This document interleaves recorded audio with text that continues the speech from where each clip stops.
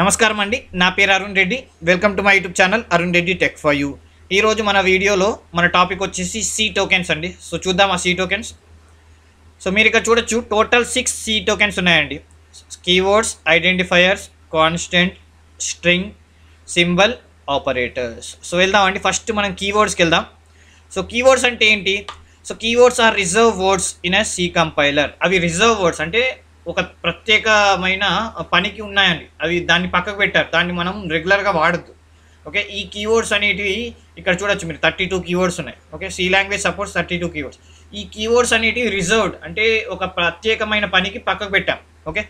So each keyword perform specific function చెప్పాను కదండి. ఒక ప్రత్యేకమైన పని మాత్రమే చేస్తుంది. ఫర్ ఎగ్జాంపుల్ మనము ఇప్పుడు ప్రింట్ ఎఫ్ అన్నాం అనుకోండి. అది ప్రింట్ మాత్రమే చేస్తుంది.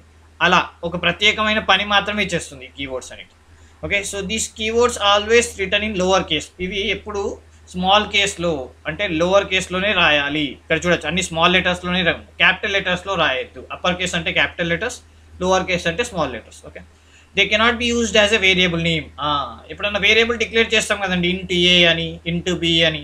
సో అలా డిక్లేర్ చేయొద్దు. ఈ ఈ కీవర్డ్స్ని మాత్రం మనం ఆ డిక్లరేషన్లో వాడదు ఫర్ ఎగ్జాంపుల్ మీరు ఇక్కడ చూడొచ్చు ఇంట్ ఇంట్ అన్నాను. సో ఇంట్ అనేది ఆల్రెడీ ఒక వేరే డాటా టైప్ అండి సో మన ఇప్పుడు నేను ఇంట్ ఇంట్ అన్నా అనుకోండి కంపైలర్ అది యాక్సెప్ట్ చేయదు. అలాగే ఇంట్ వాయిడ్ అన్నా అనుకోండి వాయిడ్ అనేది నల్ వాయిడ్ అంటే ఎంటీ నల్ అని అని అంటాం కదండి. సో ఇది కూడా ఒక ఫంక్షన్ సారీ కీవర్డ్ సో ఈ కీవర్డ్ని మళ్ళీ నేను వేరియబుల్గా వాడద్దు. సో ఇక్కడ చూడొచ్చు ఈ నాలుగు రాంగే సో మనం ఎప్పుడు కీవర్డ్ని వేరియబుల్గా వాడద్దు. అర్థమైంది కదండి? సో మళ్ళీ ఒకసారి చూద్దాం. సో కీవర్డ్స్ థర్టీ టూ అండి. ఇవి రిజర్వ్ చేసి ఉన్నాయి. ఇవి ఒక స్పెసిఫిక్ పని మాత్రమే చేస్తుంది. అంటే స్పెసిఫిక్ ఫంక్షన్ మాత్రమే చేస్తుంది. ఇవన్నీ స్మాల్ లెటర్స్లో రాస్తాం. దీన్ని మనం వేరియబుల్గా వాడద్దు. ఇదండి కీవర్డ్స్ నెక్స్ట్ వెళ్దామా? సో నెక్స్ట్ ఐడెంటిఫైయర్స్ ఐడెంటిఫైయర్స్ అంటే ఏంటంటే జనరల్గా మనం ఇంట్ ఇంటి ఇంట్ ఏ అని ఇస్తాం. లేకుంటే ఇంట్ స్టూడెంట్ నేమ్ అని ఇస్తాం కదా. క్యార్ స్టూడెంట్ నేమ్ అని. సో మనం ఒక వేరియబుల్ డిక్లేర్ చేస్తాం కదండి. ఆ వేరియబుల్ కూడా ఐడెంటిఫైయర్ అంటాం. సో వేరియబులే కాకుండా మనం దేనికైతే ఒక నేమ్ ఇస్తాం మీరు ఇక్కడ చూడొచ్చు. Each program element in C program is given a name called identifier so ఆ పేరుని ఐడెంటిఫైయర్ అంటాం.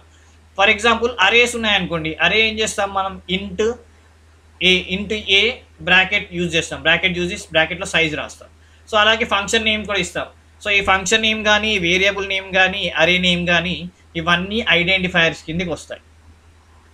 ఈ వేరియబుల్ ఫంక్షన్ అరే అనేది సబ్సెట్ ఐడెంటిఫైయర్ అనేది సూపర్ సెట్. సో ఇవన్నీ ఐడెంటిఫైయర్కే వస్తాయి. సో ఈ ఐడెంటిఫైయర్కి ఏవైతే రూల్స్ ఉన్నాయో ఈ వేరియబుల్కి ఫంక్షన్కి అరేస్ కూడా వర్తిస్తాయి సో గుర్తుపెట్టుకోండి ఈ ఐడెంటిఫైయర్స్కి ఉన్న రూల్సే మన ఫంక్షన్ నేమ్కి వేరియబుల్కి అరేస్కి వర్తిస్తాయి సో చూద్దామా అండి? సో మళ్ళీ ఇక్కడ చూడొచ్చు. You cannot use keyword as identifier. So మనం కీవర్డ్ని ఐడెంటిఫైయర్ లాగా యూజ్ చేయొద్దు. సో మనకి ఇవే కావండి చాలా రూల్స్ ఉన్నాయి. చూద్దామా? So first rule they must consist only letter digit or underscore and first letter should not be number so first rule ఏంటంటే మనం ఎప్పుడైతే ఒక ఐడెంటిఫైర్ డిక్లేర్ చేసినప్పుడు అది లెటర్ ఉండొచ్చు డిజిట్ ఉండొచ్చు లేదా అండర్ స్కోర్ ఉండొచ్చు. లెటర్ ఉండొచ్చు డిజిట్ ఉండొచ్చు అండర్ స్కోర్ ఉండొచ్చు. ఈ మూడు మాత్రమే అంటే లెటర్ అంటే A to Z smaller letters కానీ క్యాపిటల్ లెటర్స్ అండ్ డిజిట్స్ అంటే జీరో టు నైన్ సో అలాగే అండర్ స్కోర్ అండర్ స్కోర్ మాత్రమే స్పెషల్ క్యారెక్టర్లో అండర్ స్కోర్ ఒకటే సపోర్ట్ చేస్తుంది. మిగతా వాటి సపోర్ట్ చేయదు. ఓకే సో ఫస్ట్ లెటర్ మళ్ళీ నంబర్ ఉండదు. ఇదే కాకుండా ఫస్ట్ లెటర్ నంబర్ ఉండదు. కొన్ని ఎగ్జాంపుల్ చూపిస్తానండి. ఇక్కడ చూడొచ్చు మీరు. ఇంట్ ఏ ఓకే యాక్సెప్ట్ చేస్తుంది. ఇంట్ త్రీ యాక్సెప్ట్ చేయదు. ఎందుకంటే ఫస్ట్ నెంబరు ఏమన్నాం? ఫస్ట్ నెంబర్ నంబర్ ఉండదు. సార్ ఫస్ట్ లెటర్ నంబర్ ఉండదు. ఇక్కడ చూడండి. ఇంటూ ఎంపీ ఎం త్రీ అంటే ఎం అని రాసి త్రీ రా అని రాస్తే యాక్సెప్ట్ చేస్తుంది. మనం అన్నాం కదండి. నంబర్ యాక్సెప్ట్ చేస్తుంది లెటర్స్ యాక్సెప్ట్ చేస్తుంది అండర్ స్కోర్ కూడా యాక్సెప్ట్ చేస్తుంది. కానీ ఫస్ట్ లెటర్ మాత్రం నంబర్ ఉండదు. నంబర్ని యాక్సెప్ట్ చేస్తుంది కానీ ఫస్ట్ లెటర్ మాత్రం నంబర్ ఉండదు. ఇక్కడ చూడండి ఇది wrong. So it side left సైడ్లో అని రైట్ రైట్ సైడ్లో అని రాంగ్ అండి. అలాగే నెక్స్ట్ రూల్ ఏంటంటే no other special characters are allowed underscore తప్ప అండర్ స్కోర్ తప్ప మిగతా ఏ స్పెషల్ క్యారెక్టర్స్ అలౌడ్ లేదు. For example S underscore name అని ఇస్తే యాక్సెప్ట్ చేస్తుంది. Char S underscore name.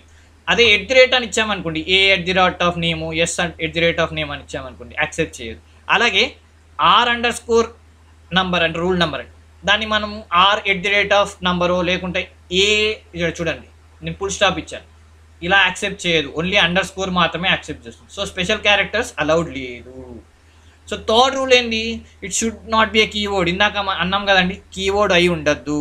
For example ఇంట్ క్యార్ అని ఇంట్ ఫర్ అని మనం రాయొద్దు.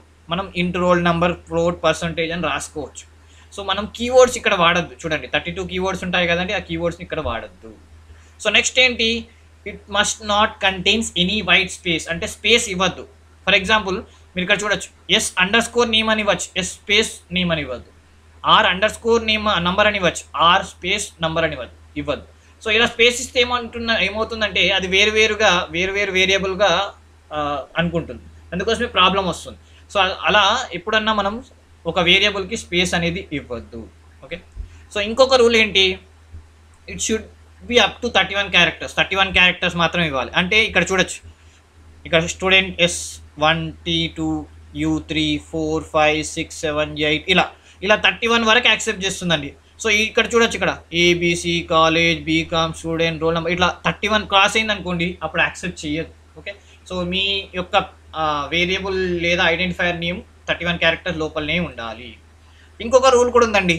It is case sensitive case sensitive అంటే అప్పర్ కేస్ని వేరులాగు లోవర్ కేస్ని వేరేలాగా ట్రీట్ చేస్తుంది. ఫర్ ఎగ్జాంపుల్ నేను ఇప్పుడు ఇంటూ ఏ అని చెప్పి ఏ ఈజ్వల్ టు ఫైవ్ అన్నా అనుకోండి అప్పుడు అది వర్క్ అవుతుంది. అదే ఇంటూ స్మాల్ ఏ అని చెప్పి క్యాపిటల్ ఏ ఇచ్చాను అనుకోండి capital A equal to five నీకు కంపైలర్ ఏమంటుందంటే ఏ ఈజ్ నాట్ ఐడెంటిఫై లేదా ఏ డిక్లేర్ చేయలేదు అని అంటుంది. ఎందుకంటే క్యాపిటల్ ఏని వేరుగా తీసుకుంటుంది స్మాల్ ఏ నువ్వు వేరుగా తీసుకుంటుంది. దీన్ని మనం కేస్ సెన్సిటివ్ అంటాం. నెక్స్ట్ ఇప్పుడు కాన్స్టెంట్స్ అండి. కాన్స్టెంట్స్ అంటే ఏందో చూద్దామా? సో జనరలీ కాన్స్టెంట్స్ అంటాం. కాన్స్టెంట్ అంటే స్టడీగా ఉండడం. ఓకే సో ఇక్కడ మనకి కాన్స్టెంట్ అనేది రెండుగా డివైడ్ అయింది. Numeric constant character constant so చూద్దాం ఈ క్యారెక్టర్ కాన్స్టెంట్ అంటే న్యూమరిక్ కాన్స్టెంట్ సో న్యూమరిక్ కాన్స్టెంట్లో మళ్ళీ రెండుగా డివైడ్ అవుతాయండి ఇంటర్ ఇంటీజర్ రియల్ క్యారెక్టర్లో స్ట్రింగ్ స్ట్రింగ్ క్యారెక్టర్ స్ట్రింగ్ అంటే ఒకటి కన్నా ఎక్కువ మనం జనరల్గా క్యారెక్టర్ వాడామనుకోండి దాన్ని సింగ్ స్ట్రింగ్ క్యారెక్టర్ అంటాం. ఒకటే క్యారెక్టర్ అంటే సింగిల్ క్యారెక్టర్ కాన్స్టెంట్ సో ఇలా నాలుగుగా మొత్తం డివైడ్ అయిపోయాయి. సో చూద్దాం ఒక్కొక్కటి. సో ఫస్ట్ నేను ఇంటీజర్ కాన్స్టెంట్ ఏంటో చూపిస్తాను. ఇంటీజర్ కాన్స్టెంట్ అండి. సో ఇంటీజర్ కాన్స్టెంట్ అంటే సపోజ్ మీరు ఇంట్ అని డిక్లేర్ చేశారనుకోండి దాన్ని ఇంటీజర్ కాన్స్టెంట్గా తీసుకుంటుంది. సో ఎప్పుడైతే మీరు ఇంట్ అని డిక్లేర్ చేశారనుకోండి అప్పుడు మీరు ఇక్కడ చూడొచ్చు. రైట్ సైడ్ ఉన్న ఎగ్జాంపుల్స్ రాంగ్ అండి లెఫ్ట్ సైడ్ ఉన్న ఎగ్జాంపుల్స్ రైట్ సో టెన్ తీసుకుంటుంది మైనస్ నైన్ తీసుకుంటుంది. సో పాజిటివ్ నెగిటివ్ నెంబర్స్ని యాక్సెప్ట్ చేస్తుంది. పాజిటివ్ మరియు నెగిటివ్ నెంబర్స్ని యాక్సెప్ట్ చేస్తుంది. కానీ రైట్ సైడ్ చూడొచ్చు. కామా లేదా ఫుల్ స్టాప్ అని పెట్టారనుకోండి అప్పుడు అది యాక్సెప్ట్ చేయదు కామా మరియు ఫుల్ స్టాప్ అని పెడితే అది యాక్సెప్ట్ చేయదు అర్థమైంది కదండి? సో ఇలా ఇంటీజర్ అనేది ఓన్లీ పాజిటివ్ లేదా నెగిటివ్ నెంబర్స్ మాత్రమే యాక్సెప్ట్ చేస్తుంది. డెసిమల్ పాయింట్స్ లేదా కామా అలా పెడితే యాక్సెప్ట్ చేయదు ఓకే? రైట్. నెక్స్ట్ చూద్దామండి. Okay next real constant so real constant అంటే రియల్ అంటే రియల్ నెంబర్స్ కదండి. రియల్ నెంబర్స్లో మనం డెసిమల్ వాల్యూస్ కూడా తీసుకుంటుంది. రియల్స్ నెంబర్స్లో మనకి నెగిటివ్ డెసిమల్ వాల్యూస్ కూడా తీసుకుంటుంది. మనం ఇక్కడ ఫ్లోట్ డబుల్ వాడతామండి. రియల్ కాన్స్టెంట్ డిక్లేర్ చేయడానికి మనం ఫ్లోట్ మరియు డబుల్ అలా వాడతాం.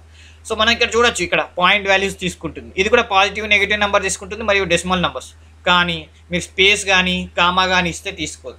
రియల్ కాన్స్టెంట్ అనేది స్పేస్ కానీ కాన్స్టెంట్ సారీ కామా కానీ పెడితే తీసుకోదు. రైట్? సో అలాగే next single single character constant. Single character constant అంటే మనము ఏదైనా సింగిల్ కొటేషన్లో ఇచ్చామనుకోండి దాన్ని క్యారెక్టర్గా తీసుకుంటుంది దీన్నే మనం సింగిల్ క్యారెక్టర్ కాన్స్టెంట్ అంటాం. మీరు ఇక్కడ చూడొచ్చు సార్ వన్ అని తీసుకున్నారు కదా వన్ నంబర్ కదా. క్యారెక్టర్ లాగా ఎలా యాక్సెప్ట్ చేస్తుంది అంటే సపోజ్ మీరు ఇక్కడ చూడొచ్చు ఫోన్ నంబర్స్ మీ ఫోన్ నంబర్స్ లేదా మీ ఆధార్ కార్డ్ నంబర్స్ అవి నంబర్స్లో ఉంటాయి కానీ అవి క్యారెక్టర్స్ అంటే అవి అడిషన్కి వాడదు. సో జనరల్గా మనం ఎప్పుడైతే మనం కొటేషన్లో ఇచ్చామో వాటిని మనం అడిషన్ కానీ సబ్స్ట్రాక్షన్కి వాడలేము. ఓకే సపోజ్ డైరెక్ట్ ఇంటీజర్కి ఇచ్చామనుకోండి అప్పుడు మనం అడిషన్స్కి సబ్స్ట్రాక్షన్స్కి వాడచ్చు.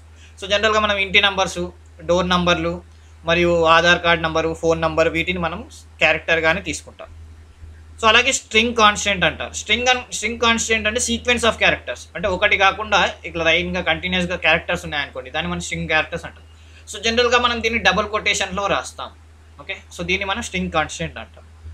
నెక్స్ట్ సింబల్స్ సింబల్స్ అంటామండి. సో సింబల్స్ అంటే మనకు చాలా ఉన్నాయి. స్పెషల్ సింబల్స్ అంటాం. C language has constant the following special symbols for example braces comma semicolon మీరు ఇక్కడ కూడా చూడొచ్చు. జనరల్గా మనం వైడ్ మెయిన్ మెయిన్ ప్రోగ్రామ్ ఎలా రాస్తాం? బ్రాకెట్లో రాస్తాం. సో అలాగే మెయిన్ని మనం ఎలా రాస్తాం? మెయిన్ పక్క ఫంక్షన్ ఎలా మెన్షన్ చేస్తాం? మనం బ్రాకెట్స్ కరువు బ్రాకెట్స్ వాడతామండి ఇక్కడ. ఇక్కడ ఫ్లవర్ బ్రాకెట్స్ వాడతాం. అలాగే మనం రెండు డిక్లేర్ రెండు వేరియబుల్స్ ఒకటేసారి డిక్లేర్ చేయాలనుకున్నాం అనుకోండి. కామా అని వాడతాం. ఒక లైన్ని ఎండ్ చేయాలనుకున్నాం అనుకోండి. సెమికోలన్ వాడతాం. సో ఇలా డిఫరెంట్ డిఫరెంట్ సింబల్స్ని మనం సి లాంగ్వేజ్లో వాడతాం. వీటిని అన్నింటిని మనం స్పెషల్ సింబల్స్ అంటాం. సో ఇవే కాకుండా మనకి ఆపరేటర్స్ ఉంటాయండి. ఆపరేటర్స్ అంటే అర్థమెటిక్ ఆపరేటర్ ఇలా లా relational operator logical operator bitwise operator increment decrement operator assignment operator ఇంకా కూడా ఉన్నాయండి కండిషనల్ ఆపరేటర్స్ ఇలా ఉంటాయి. సో చూద్దామండి ఏంటో ఇది. First arithmetic operator so addition arithmetic ఆపరేటర్లో మనకి addition subtraction multiplication division module అంటామండి లాస్ట్ సో జనరల్గా డివిజన్ ఏం చేస్తుందంటే డివైడ్ uh, uh, uh, చేసినప్పుడు suppose four eight divide by four అనుకున్నాం అనుకోండి టూ ఇస్తుంది అంటే డివిడెండ్ ఇస్తుంది. కానీ పర్సంటైల్ ఏం చేస్తుందంటే రిమైండర్ ఇస్తుంది. మీకు రిమైండర్ ఇస్తుంది. Okay so suppose eight divided by four అన్నాం అనుకోండి reminder zero nine divided by four అన్నాం అనుకోండి రిమైండర్ వన్ అలా. సో ఇమీడియట్ రిమైండర్ మీకు ఇస్తుంది. దాన్ని మనం మాడ్యూల్ అంటాం. ఓకే సో ఈ మాడ్యూల్ ఏం చేస్తుంది? రిమైండర్ ఇస్తుంది. సో అలాగే అడిషన్ సబ్స్ట్రాక్షన్ మల్టిప్లికేషన్ డివిజన్ అని మాడ్యూల్ అని మొత్తం ఫైవ్ ఉన్నాయండి అర్థమెటిక్ ఆపరేటర్స్ సో ఇవే కాకుండా మనకి రిలేషన్ ఆపరేటర్స్ అంటాం. సో జనరల్గా సింగిల్ ఈక్వల్ టు మనం అసైన్మెంట్ వాడతాం కాబట్టి ఇక్కడ డబల్ ఈక్వల్ టు వాడతాం మనం equal to. Okay so equal to అని లే గ్రేటర్ దాన్ అని లెస్ దాన్ అని less than so not equal to. Okay మీకు చూడొచ్చు. ఎక్లమేటరీ ఈజ్ ఈక్వల్ టు మాత్రం నాట్ ఈక్వల్ టు అని less than equal to sorry greater than equal to less than equal to. So ఇలా మొత్తం ఆరు operators ఉంటాయండి relational operators. So ఇవి మనం ఎప్పుడన్నా కండిషన్లో వాడినికి యూజ్ అవుతాయి. ఫర్ ఎగ్జాంపుల్ మనం ఒక ఈవెన్ ఆడ్ ప్రోగ్రామ్ చేయాలనుకున్నాం అనుకోండి సో ఒక ఒక నంబర్ని టూతో డివైడ్ చేస్తే దాని రిమైండర్ జీరో వస్తే మనకి జీరో వస్తే దాన్ని ఈవెన్ అని ఇవ్వాలనుకుంటున్నాం అక్కడ కండిషన్ సో అప్పుడు మనం ఏం చేస్తాం? ఈ రిలేషన్ ఆపరేటర్సే వాడతాం. సో జనరల్గా మనం రెండు ఆపర రెండు వేరియబుల్స్ని కంపేర్ చేయడానికి లేదా రెండు వాల్యూస్ని కంపేర్ చేయడానికి మనం రిలేషనల్ ఆపరేటర్ వాడతాం. సో అలాగే మనకి లాజికల్ ఆపరేటర్స్ అంటాం. ఓకే? లాజికల్ ఆపరేటర్స్ అంటే అండ్ ఆర్ నాట్ దీన్ని మనం లా logical and logical or logical not అంటాం. సో ఇవెందుకు యూజ్ అవుతాయంటే ఎప్పుడైనా మనం కండిషన్స్ ఒకటి కన్నా ఎక్కువ కండిషన్స్ సాటిస్ఫై చేయాలా? లేదా ఏదో ఒక ఒక నాలుగు కండిషన్లో ఏదో ఒక కండిషన్ సాటిస్ఫై చేయాలనుకున్నాం అనుకోండి. అట్లాంటి పరిస్థితిలో అండ్ ఆర్ నాట్ అని వాడతాం. సో జనరల్గా అండ్ ఏమవుతుందంటే మీకు ఇచ్చిన కండిషన్లో అన్ని కండిషన్ ట్రూ అయితేనే అది ట్రూ అవుతుంది. ఓకే సో ఆర్లు ఏమవుతుంది? ఏదో ఒక కండిషన్ ట్రూ అయితేనే అది ఏదో ఒక కండిషన్ ట్రూ అయితే చాలు అది ట్రూ అయిపోతుంది. So not in the reverse true అంటే ట్రూకి రివర్స్ ఏంది? ఫాల్స్. సో నాట్ అంటే రివర్స్. నాట్ ట్రూ అంటే ఫాల్స్ అని నాట్ ఫాల్స్ అంటే ట్రూ. ఇలా రివర్స్గా యూజ్ చేయడానికి మనం వాడతామండి. రైట్. అలాగే బిట్ వైజ్ ఆపరేటర్స్ ఉంటాయండి. And or sorry bitwise and bitwise or bitwise exclusive or bitwise comple complement shift left shift right కూడా ఉంటాయి. ఓకే? సో అలాగే అసైన్మెంట్ ఆపరేటర్స్ ఉంటాయి. జనరల్గా అసైన్మెంట్ ఆపరేటర్ ఈక్వల్ టు ఏందండి సో ఈ ఈక్వల్ టుతోని మనం ఇక్కడ అర్థమెటిక్ ఆపరేటర్స్ని కూడా వాడచ్చు. ఓకే సో ఈక్వల్ టు జనరల్గా మనం వాడతాం. సో మనం చూడొచ్చు మనం. ఇందాక మనం ఇంటూ ఏ అని డిక్లేర్ చేసాం A is equal to five ఒక వాల్యూ ఒక వేరియబుల్కి మనం వాల్యూ అసైన్ చేయాలనుకున్నాం అనుకోండి అప్పుడు మనం ఈక్వల్ టు వాడతాం. For example A is equal to five అని అనుకోండి ఫైవ్ వాల్యూ అనేది ఏలో సేవ్ అవుతుంది. Okay so A value five అయిపోతుంది. అలాగే మనం ఒక ఏబీని యాడ్ చేసి సిలో సేవ్ చేయాలనుకున్నాం అనుకోండి. C is equal to A plus B అంటే ఏబీ రెండు యాడ్ అయ్యి ఆ సిలోకి సేవ్ అవుతుంది. సో ఇలా మనం అసైన్మెంట్ ఆపరేటర్ని వాడతాం. సో ఈ అసైన్మెంట్ ఆపరేటర్తో మనం అర్థమెటిక్ ఆపరేటర్స్ కూడా ఇలా వాడచ్చు. బాగుంది కదండి? సో నెక్స్ట్ వెళ్దామా? So increment and. డిక్రిమెంట్ అండి సో జనరల్గా ఇంక్రిమెంట్ అండ్ డిక్రిమెంట్లో ప్లస్ ప్లస్ మైనస్ మైనస్ ఉంటాయి. సో ప్లస్ ప్లస్ అంటే ఇంక్రిమెంట్ అన్నట్టు. మైనస్ మైనస్ అంటే డిక్రిమెంట్ ప్లస్ ప్లస్ అంటే మీకు సపోజ్ ఏ ప్లస్ ప్లస్ అన్నాను అనుకోండి ఏ ఆల్రెడీ టెన్ ఉందనుకోండి ఆ టెన్ కాస్త లెవెన్ అవుతుంది. అంటే A is equal to A plus one A is equal to A plus one అంటే ఒక ఒక ఒక వన్ అనే వాల్యూ వన్ వాల్యూ అనేది పెరుగుతుంది. Okay so A is equal to A plus one so next sir ఏమవుతుంది? ఆ లెవెన్ కాస్త ట్వెల్వ్ అవుతుంది. మళ్ళీ ఏ ప్లస్ ప్లస్ అన్నాం అనుకోండి థర్టీన్ అవుతుంది. సో ఇలా ప్లస్ ప్లస్ అనే సింబల్ వాడతాం. అలాగే మైనస్ మైనస్ ఏమవుతుంది? తగ్గుతుంది. సో ప్లస్ ప్లస్ అన్నప్పుడు ఒకటి పెరుగుతుంది కాబట్టి అలాగే మైనస్ మైనస్ అంటే ఒకటి తగ్గుతుంది. For example A is equal to A minus one అన్నా కానీ లేదా ఏ మైనస్ మైనస్ అన్నా same. A is equal to A minus one అన్నా కానీ ఏ మైనస్ మైనస్ అన్నా సేమ్. సో సపోజ్ ఇప్పుడు A is equal to ten అనుకోండి ఇప్పుడు నేను ఏ ప్లస్ ప్లస్ అంటే అది లెవెన్ అవుతుంది ఏ మైనస్ మైనస్ అంటే నైన్ అవుతుంది. అలా. సో ఒకటి పెరుగుతుంది ప్లస్ ప్లస్ అంటే ఒకటి తగ్గుతుంది మైనస్ మైనస్ అంటే. బాగుంది కదండి? సో నెక్స్ట్ చూద్దామా? సో ఇవ్వండి ఇక్కడ వరకు మన ఆపరేటర్స్ అయిపోయాయి. సో ఇవ్వండి మన సీ టోకెన్స్ బాగున్నది కదండి? సో సీ టోకెన్స్ మీకు ఈ టాపిక్ కనుక నచ్చినట్టయితే నా వీడియోని లైక్ చేయండి సబ్స్క్రైబ్ చేయండి అలాగే నన్ను సపోర్ట్ చేయండి. Thank you.